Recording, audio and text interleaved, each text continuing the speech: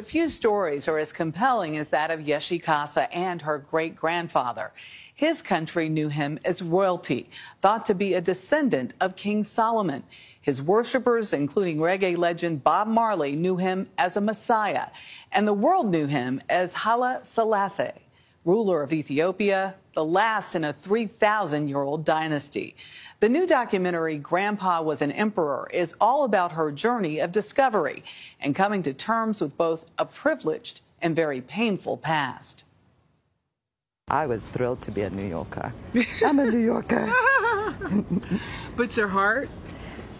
My heart, heart, I'm an Ethiopian. For 40 years, Yeshi Casa has lived in relative obscurity as a banker in the Big Apple, exiled from her homeland and her birthright. Some people want to call me princess, but I'm really not one. But your grandpa? My grandfather was an emperor, yes. Grandpa was an emperor is the little known story behind the overthrow of Emperor Haile Selassie. A monarchy which claimed ancestral ties to King Solomon and the Queen of Sheba. So, what, what do I remember about him? He was very strict, very austere, very quiet. You weren't allowed to just talk and act in any kind of childlike way. You had to be very grown up. From 1930 to 1974, Selassie federalized a once feudal nation, abolishing slavery, resisting Italy's fascist occupation. Emperor Haile Selassie rides in majesty through London. And raising Ethiopia's political standing around the world. The White House rolls out the red carpet for Emperor Haile Selassie. He also presided over the continent's first African Union. Uh, but poverty and a crippling famine began to undermine his rule, as well as his annexation of neighboring Eritrea.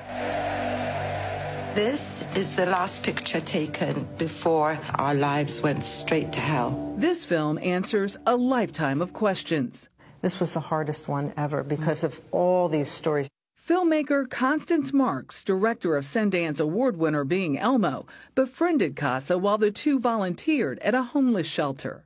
She told me her family story. And she said, We're thinking about either writing a book or making a film. And I said, Do you know what I do? And she said, No. and I said, I'm a documentary filmmaker. Casa's story begins in 1973, when at 11 she and her sister were sent abroad to boarding school. I was a badly behaved child. So you admit I, that freely. I do freely admit that. Um, so they had promised us, you know, when you go, you'll be, you'll be back in less than a year. You'll be able to come home.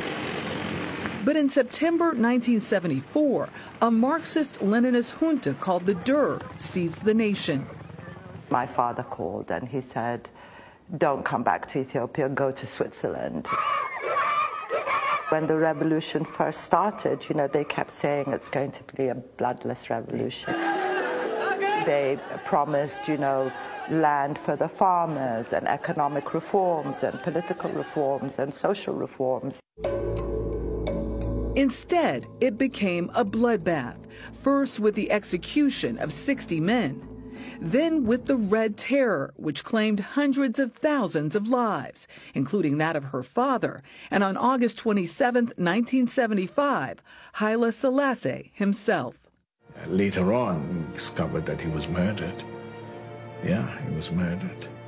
I mean, he used to be an emperor, you know? What do you think the perception of your great grandfather was versus the reality? I think there was a perception that he was all powerful. And I think that's where people make a mistake about Grandpa. You know, he um, abolished slavery, he um, federalized the system, and he had massive opposition in doing that from these incredibly powerful um, aristocratic families that had as much power as him. But it's the survivors that the film seeks to hail. My mom had resisted making any kind of film or talking about what had happened. I was upset that people did not know what they'd done to my family and to the women, the imperial women. Eleven women in her family were held captive for 15 years. Was it worth it being born who we are? Absolutely not. not for me. I sort of fell in love with the fervor by which Yeshi was telling her story. I call her Auntie Yeshi. Tony Award winning actress Cynthia Erivo is executive producer.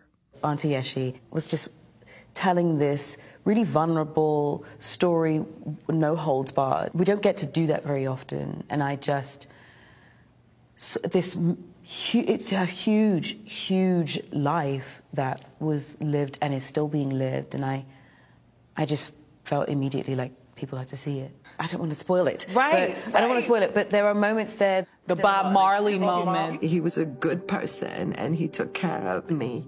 The pioneering reggae superstar followed the Rastafarian movement, which regarded Selassie as a modern day messiah. Marley helped rescue Kasa's younger sisters. Bob was the first person to say to me, like, do you actually know who your grandfather is, what he means to people, what he means to the West?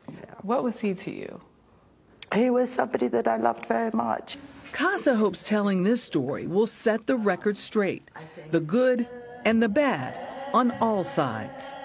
Mommy, do you think this is important to do? Yeah, at least they'll have something uh, to remember because it's, it's very easily forgotten. I'm not reasonable about my family. I don't like hearing bad things about them. And it was always this conversation where people were very pro the royal family were very against it. And it was hard to get to know the middle. And so this film, I think it gave me real perspective. So what do you think people will say when they see this? You know, I think this film is about women you know, um, the ladies in London who helped the princesses who were in prison, the, the people who helped rescue my siblings. Like, this film is about women. So I hope that that's what people see.